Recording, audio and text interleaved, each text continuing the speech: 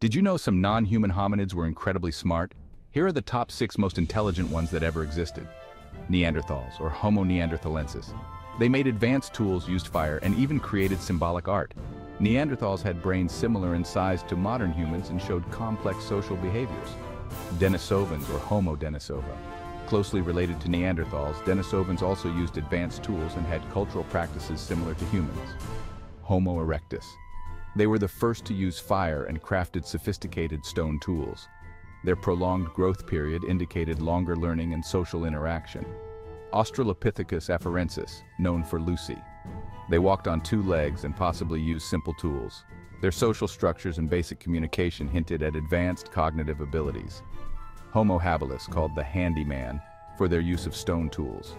They had a larger brain and were better at problem solving and social interaction. Australopithecus africanus, famous for the Taung child,